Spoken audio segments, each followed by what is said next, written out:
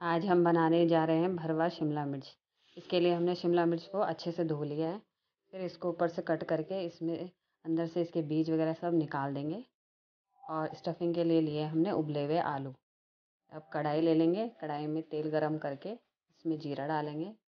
जीरा को ब्राउन करेंगे। जब जीरा थोड़ा ब्राउन हो जाए तब इसमें डालेंगे हम प्याज।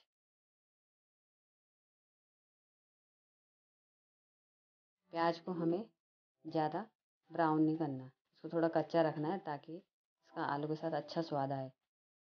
अब डालेंगे हम इसमें मसाले, हल्दी पाउडर, धनिया पाउडर, लाल मिर्च पाउडर और स्वाद के अनुसार नमक। अब इन मसालों को अच्छे से भून लेंगे। इसके बाद डालेंगे हम इसमें हरी मिर्च और इन मसालों को अच्छे से भून के इसमें डालेंगे हम आलू। इस मसाले को हमें अच्छे से भूनना है। जितना हम इस आलू को भूनेंगे, उतना इसका स्वाद बढ़ेगा। अब डालें इसमें हरा धनिया और इसको भी अच्छे से आलू के साथ मिला देंगे। अब हमारे आलू की स्टफिंग तैयार है। अब इसे हम प्लेट में निकालेंगे और जो हमारी खाली शिमला मिर्च कर रखी है अंदर से, उसके अंदर भरेंगे।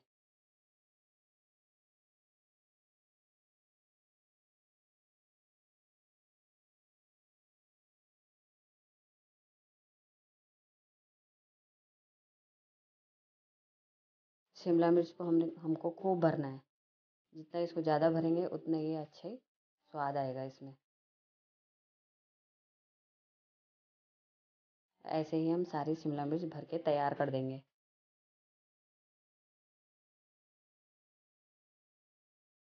अब लेंगे हम उसी कढ़ाई में तेल और ये भरी हुई सारी शिमला मिर्च को तेल के साथ रख देंगे।